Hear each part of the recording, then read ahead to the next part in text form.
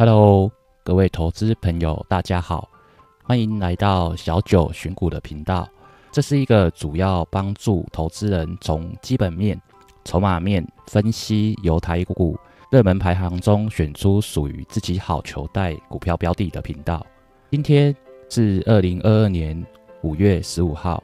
小九在看了很多大 YouTube 的影片之后，就在想说。小九的频道到底可以为观众提供些什么样的资讯？观众可以从这个频道得到哪些知识？小九自身呢，又有哪些比较好的一些资源，或是一些可以来为各位服务一些亮点，帮各位先做好功课，并且挑选出已经还原 K 线值是向上趋势的股票，来做一些标注。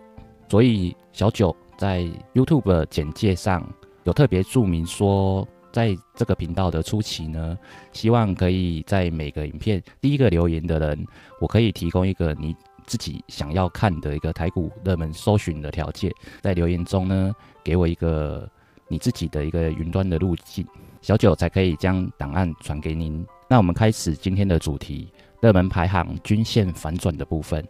首先呢，我们在均线反转的部分看得到二十日的均线、六十日的均线以及一百二十日的均线反转上扬，总共有二十六档股票。小九呢，在这二十六档股票的部分，可以看到现在目前。画面上有十七档的部分，小九有留下来；反黄的部分则是小九已经先做好功课。它在长期的还原 K 线图上是呈现一个稳定向上的一个趋势。那我们看一下累月的营收增减，第一名其实是细格，净值比则是远东新，当日的 PER 值是台加硕，ROA 值的部分则是星象，星象这一只股票等等，我们就它的。今年度的一个配息的部分来做一个讨论，在四月公司有自己买入自己的股票，则是有两尾比较多。远东新的部分，则是有近小九持股超过六百张的趴数，它增减量有往上增加的一个状况。当然，细格的部分以及两尾的部分，在超过六百张四月的时候呢，也有增加的一个状况。就新向的。股利政策来说，它已经十九年连续配发股利了。可以看得到，从二零一五年的部分一直到今年，它有逐步配发股利增加的一个状况。不过，我们可以看得到，它并不是年均值利率是一直往上增加的状况。为什么？因为它的股价在二零二零年以及二零二一年的部分其实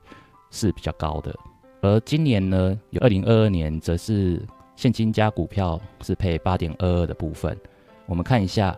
二零二一年到二零一六年的部分，它有使用到公积金的部分。那今年呢，特别配了一个股本十元的部分，也就是说，你手上有十张股票，你在除权息之后会变成二十张。那时候的股价呢，如果是七百三十元的话，就会变成三百六十五元。除权息之后呢，不知道会不会有人觉得这张股票很便宜，就进去抢买了。这个可以后面可以再看一下。其实它本身的价值不会因为配发了这个股票的股利之后，然后增加或减少，它是不变的。接着我们来看一下热门排行 PER 由低至高前三百名的部分，那可以看到这里有二十六档股票。黄色的部分一样是小九已经帮忙做完功课，它的整体的还原股价的趋势是往上的。看一下累月营收增减的部分，第一名其实是绿意，近四季净利的增减则是润泰全表现的比较好，净值比的部分则是黄鼎一样，当日的 PEI 也是黄鼎比较好，华源的部分则是在近年 ROA 值表现的比较好，小九。会圈选的部分都是有黄色仿白的部分哈，年合计值利率的部分则是华硕看起来比较好，这个对现金流会比较有帮助，而公司对自己四月股票有购买的部分则是适合，超过六百张的趴数增加的部分呢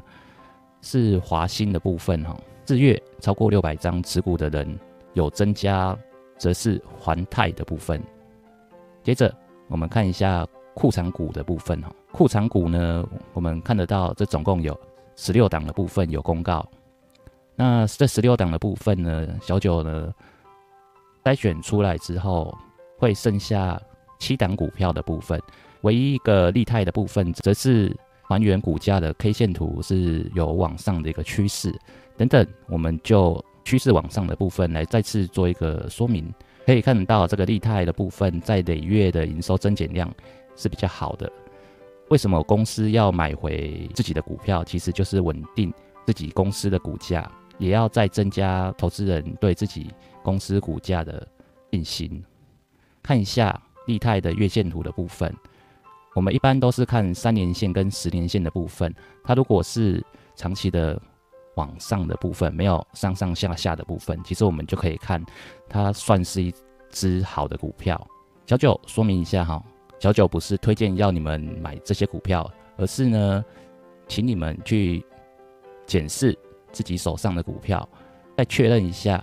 如果呢你有买入上述的一些股票的时候呢，当初买入的投资原因到底是不是已经有改变了？